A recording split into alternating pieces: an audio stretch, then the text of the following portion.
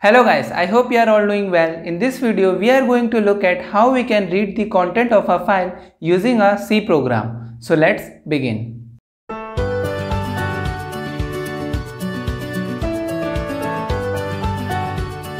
Here I had written the code to open our file that is abc.txt in the mode of reading and then to check whether the file pointer is giving null or not. So if the file pointer is not equal to null. That means our file is opened. And the content of the abc.txt is written here. That is this is a beautiful day right?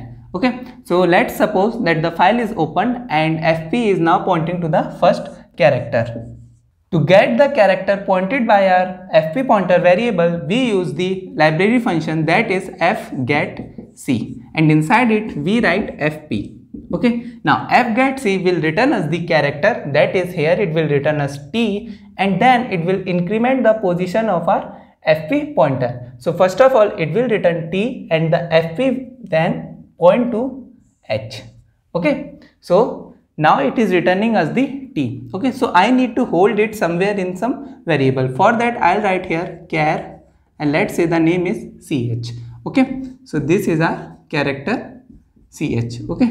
So now i'll assign the return value to the ch variable okay? And after that i'll write here printf percent %c and then ch okay? Now in this case what will happen? It will give us the output as t right? Now let's say i want to again print the next character that is h. So i can write here ch equals to f get c and then fp and after that i'll write here printf percent %c and then ch okay in this case f get c will return us now h and then after that it will point to i. So here ch will have the content as h and then here it will print me h. Okay so this is how we can print the content of our file character by character. But this is not a good approach. Why? Let's say the number of character are 1000 then i have to write these lines 1000 times. So instead of using these we use the while loop or we can say infinite loop. For infinite loop we will be using here while loop. Okay? So i'll write here while 1 and then i'll write here ch is equal to f get c and then fp right? And I'll write here printf percent %c and then ch okay? Now if you see here first of all fp will be pointing to the t character. Right? So it will return us t and it, the ch will be assigned with the character t. Okay? Then it will print us the value holded by ch that will be t. Okay? Then again the loop will run. And when it is returning the value the fp pointer will now point to the next location. Okay? So it will be pointing to this location. Then again it will print us it will return the currently positioned character that is h and it will increment the file pointer location. So now it will point to i and it will return us h. Okay? So ch will now be holding the value as h right? And in this case right now it will print me h. Okay so in the output so so far it is t h. Similarly in the next iteration it will print i then s then space then i s a and so on. It will print the whole content. But here is a one ambiguity that this loop will never end. Now remember that whenever a file is ended a character that is this character which has the ASCII value of 26 is written in the file okay? Whenever a file content or the end in the end of the file a special character which is having the ASCII value of 26 and the character is this one is written to the file okay? So we have to do something like that that whenever we are reaching to that particular character stop the process of reading the content. And remember one more thing that when f gets c read this character then it will return us eof okay? Which is a macro and its full form is end of file okay? So let's say there here was this character. When f get c will read this character. It will return me the eof okay? Instead of returning the same particular character when the f get c will read this character then instead of returning that particular character it will return as eof so remember that. So now first of all we will take the input in ch like this f get c and then fp and after that we will check if ch is equal equal eof okay? And if it is equal equal to eof then i will break this loop okay? And if it is not equal equal to EOF then I will let it run and I'll write here printf percent %c and then ch right? So now this is a working program to read the entire content of a file.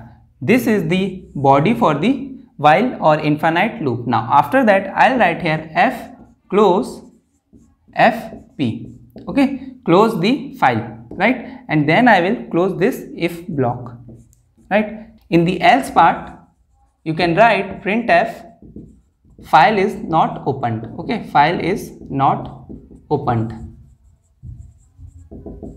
Like this okay? And this will be end of our program okay? But the main point is this logic. So now let me wrap it again first of all there is a it is checking that whether the fp is null or not. If fp is not null that means a structure address has been returned as I talked in the previous video and then fp will be pointing to the first character of the file right. Then we have used the infinite loop. Now for in the first iteration ch will be equal to f get c fp. So f get c will fp will return me the first character that is t and this t will be assigned to the ch. So ch will be having the t. Okay, then it is checking if ch equal equal end of file that means that it is checking whether we had reached to the end of file or not. So currently it is it will give us false. So this statement will execute and it will print ch that is t okay. Similarly in the next iteration it will take the now the next character that is i and it will print here h then i then s and so on. So this is how the flow of the program is going on. Okay.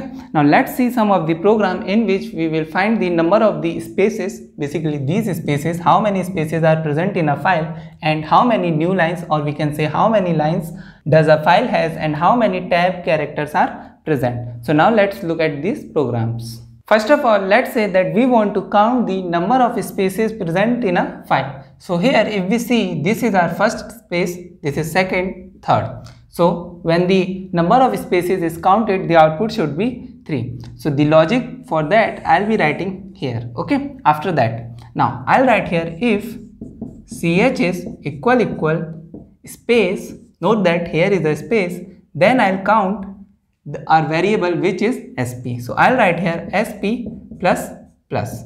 Okay. Now first of all the character is read and assigned to the ch then it is compared to the end of file if it is equal to means that we had reached to the end of file then break otherwise it is comparing that if ch is equal equal space now in the first iteration this will not be equal now this character is not equal to space again it will not be equal. Again and again it will not be equal. After some time this will be equal to the space. So the value of sp will increase and it will become 1 okay? Then in the next iteration fp will point here then here then again in this when ch will become equal equal space then again value of sp will increase and it will become 2 okay? So this is simple program that it is now counting the number of spaces. Okay? Then after that i can write here after the while loop I can write here printf percent %d that sp okay? To make it better you can write here the number of spaces present in this file is 3 okay? So final output of sp will be 3 okay? So sp will become 3 right? Similarly let's say that i want to count the number of line. So num for number of line we will see if ch is equal equal new line character. Okay? If this is equal equal then i will write n plus plus. Right? So i'll make another variable for new line that is n and i'll assign it with 0 okay? So as soon as it will be encountering the new line character that is the new line it will be incrementing. Okay? So here it will give me output as 3 again. Okay? So n plus plus at the final it will give me 3 so 3 lines are present. Now one can ask that why, there is no new line character present here but remember that whenever in the file processing if even we are not writing here anything a new character or new line character will be appended. So remember that new line character will also be here. Okay? Similarly let's say that we want to calculate the number of tab character. Tab character are generally slash t. Okay? No tab character is present here but for that we can simply write it if ch equal equal slash t okay? And if it is then t plus plus okay? And make another variable with t equals to 0 so this will calculate the number of tab character okay? Similarly let's say that you want to calculate number of i character or small i character. Then for that you can write if ch equal equal let me write it here small character small lowercase i okay? So as soon as ch will be equal to i it will increment the value of t. So in this case first it will increment value here then here then here 3 and this 4 so t finally will be 4 so this is how we can calculate the number of particular character present in a file okay? So this is the basic of how we can read a file and how we can process or extract the data from a file okay. So that's all for today guys. I hope you like the video. If you have any doubt please comment it down. Thanks for watching and i have to see you in the next video